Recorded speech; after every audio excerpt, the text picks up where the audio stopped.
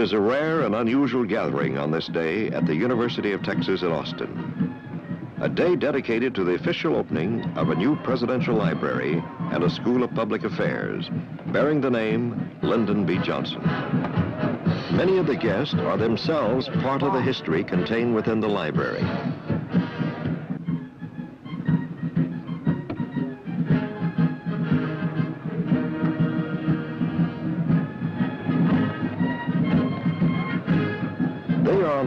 Day to affirm the great and lasting contribution that the library and its resources will make possible to generations of Americans.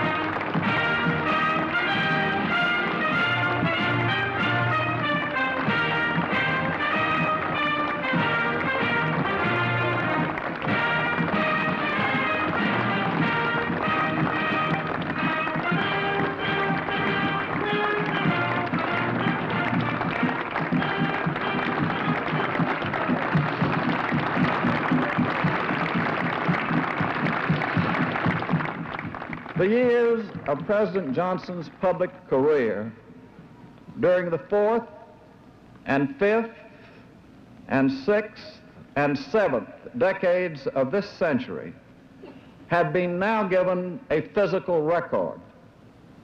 Insight for deepening knowledge of that period is the main purpose of the Presidential Library. Such insight, of course, is not gained solely from artifacts of experience. It calls upon both imagination and a sense of human destiny. The idea for this unique library grew from a proposal in 1965 by the University of Texas that President Johnson place his papers on the campus. The concept of a resource collection within the academic community for scholars and researchers appealed to the president, but he wished that a part be available also to the average citizen. Planning was soon underway, and by September 1967, while history was yet being written by the Johnson administration, construction had begun.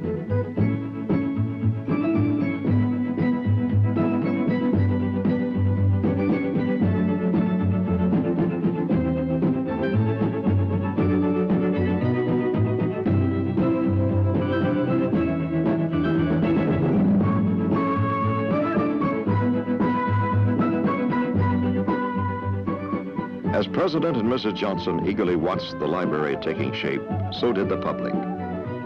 Just prior to opening day, CBS News presented a special preview.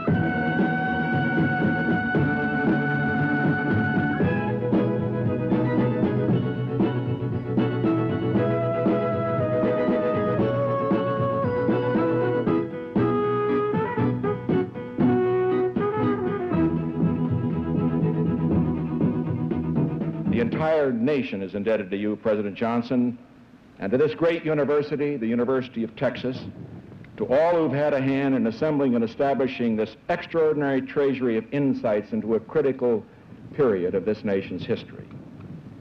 And on behalf of all the people of the United States, I am honored and privileged to accept it for America.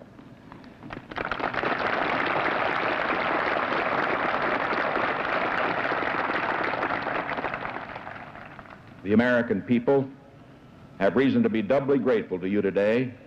First, for your long period of service to the nation, and now for this collection that can take the scholars of future generations behind the scenes. One of the first rules of statecraft is that if that we can successfully chart the future only if we can understand the past. Libraries such as this can be among our best keys to that understanding. With its more than 31 million documents, this contains more items by far than any other presidential library yet established. And through its connection with a great university, it promises both to enrich the university and to be enriched by the university. We're all partners in this hopeful undertaking. The people of Texas have built this library. The National Archives will manage this library. The documents that I have preserved since the days I was in college are being given along with the records of many others who served with me in government.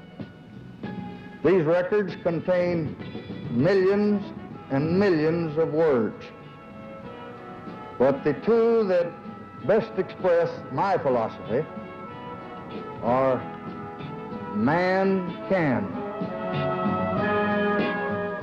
In accordance with President Johnson's wish, the library is a public place.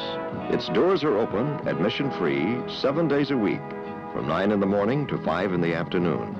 More than 2,000 visitors a day have come, have signed the guest book, have leisurely toured the rooms and exhibits. They have become observers of history. They have seen the actual documents and artifacts of the presidency. They have come closer to understanding the awesome responsibility of that office and the man who held it.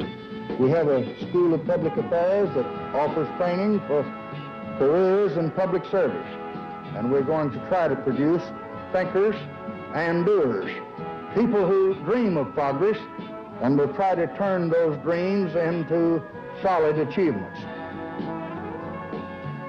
This library reflects the nation for the last 40 years, from the early 30s through the late 60s.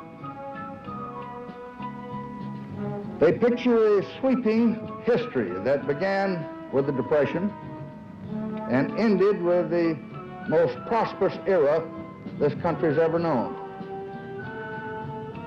They record a drive for change and for social reform that's unparalleled in its energy and its scope, and a world war that was unmatched in its destruction.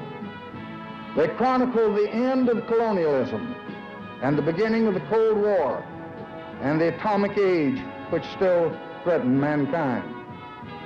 They cover the time when liberty was challenged in Europe and Latin America and Asia. And they record America's response to those challenges. So it's all here. The story of our time with the bar call. There is no record of a mistake or an unpleasantness or criticism that is not included in the files here.